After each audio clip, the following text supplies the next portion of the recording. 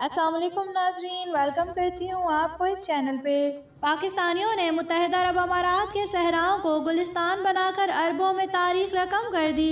पाकिस्तानी किसानों की मेहनत से सहराए अरब के रेगिस्तान भी हरियाली से लहलहाने लगे और गुलिस्तान में तब्दील हो गए। सरसब्ज बागात से हर तरह के फल और सब्ज़ियाँ भी उगने लगी, जिसका सहरा पाकिस्तानी बागबानों और किसानों के सर जाता है। इनकी शब रोज की मेहनत से यहाँ के सहरा भी हरे भरे हो गए और लोगों की तवज्जो का मरकज बन गए। गुजशत दिनों एक मुकामी अरब हम खलीफा अलकाबी की दावत पर पाकिस्तानी जर्नलिस्ट फोरम यूएई के अहदेदारानों अरकान ने इनके ज़रिए फार्म का दौरा किया, जिसका अहतमाम सहाफ़ी अहमद कुरैशी सारंग ने किया।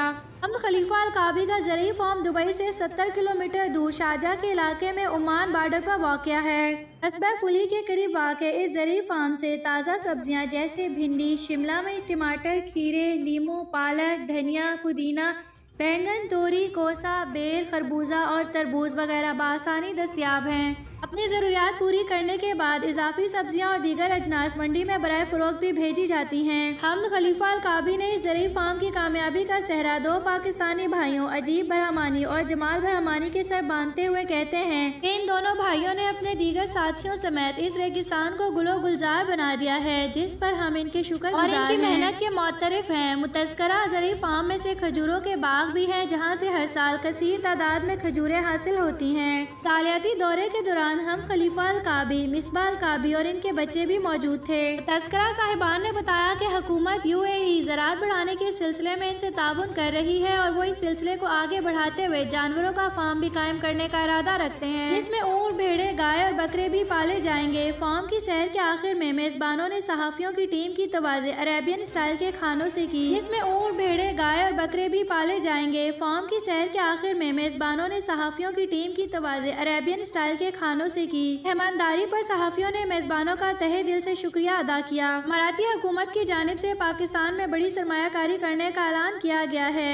मराठी वज़ीर बरा सकाफत नौजवानों समाजी तरक्की शेख नहान बिन मुबारक ने खुशखबरी दी है की अबू जैब ग्रुप पाकिस्तानी वज़ीर आज़म इमरान खान के विजन के मुताबिक पाकिस्तान में सरमाकारी बढ़ाएगा। ये बात उन्होंने पार्लिमानी कमेटी बरए कश्मीर के चेयरमैन शहरियार खान अफरीदी के दौरे अबू जैबी के मौके पर होने वाली मुलाकात के दौरान कही। के मुताबिक चेयरमैन कश्मीर कमेटी शहरियार खान अफरीदी ने मुतहदा अरब अमारात के वज़ीर बरए कल्चर यूथ और social development, Sheikh Nahyan bin Mubarak Nahyan से मुलाकात की। इसमें यूथ एम्पावरमेंट और कल्चर फ्रंट को मजीद मुस्तहकम बनाना जेर बहस रहा। राय के मुताबिक, मुलाकात में पाकिस्तान और मुतहदा अरब अमारात के माबेन बाहमी ताल्लुक को मजीद फरोग देने पर बात की गई। मुतहदा अरब अमारात के वज़ीर ने शहरियार खान अफरीदी की यूथ को मुतहरक रखने की कोशिशों को सराहा। मुलाकात के दौरान शेख नाहयान बिन मुबारक ने वज़ीर अजम इमरान खान के नाम खैर सगाली का पैगाम पहुँचाया। इस मौके पर शेख नाहयान ने यू यूएई में मुकीम पाकिस्तानियों की खिदमत को सराहते हुए नए ख्वाहिशात का इजहार किया।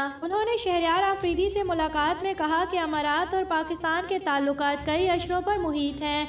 इन बरदराना ताल्लुक में मजीद मजबूती पैदा होगी। अमारात के सरमाकारी के सरकारी इदारे अबू जैबी ग्रुप की जानब ऐसी इमरान खान के विजन के मुताबिक पाकिस्तान में सरमाकारी बढ़ाई जाएगी। इस हवाले ऐसी नया मनसूबा जल्द शुरू होने वाला है। इनका मजीद कहना था की अमारात में रिहाइश पजीर लाखों पाकिस्तानियों ने इसे एक जदीद तरीन ममलिकत बनाने में बहुत मदद फरहम की है। शेख नहान बिन मुबारक ने शहरियार आफरीदी को यकीन दिलाया कि अमारात में रहने वाले पाकिस्तानियों के मसाइल जल्द अज जल्द हल किए जाएँगे।